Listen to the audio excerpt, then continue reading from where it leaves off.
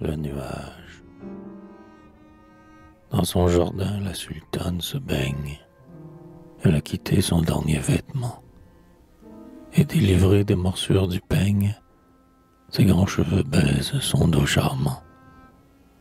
Par son vitrail, le sultan la regarde, et caressant sa barbe avec sa main, il dit L'eunuque en sa tour fait la garde, et nul, hors moi, ne la voit dans son bain.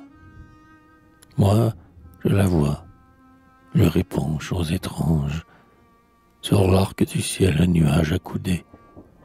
Je vois son sein vermeil comme l'orange, et son beau corps de perles inondé.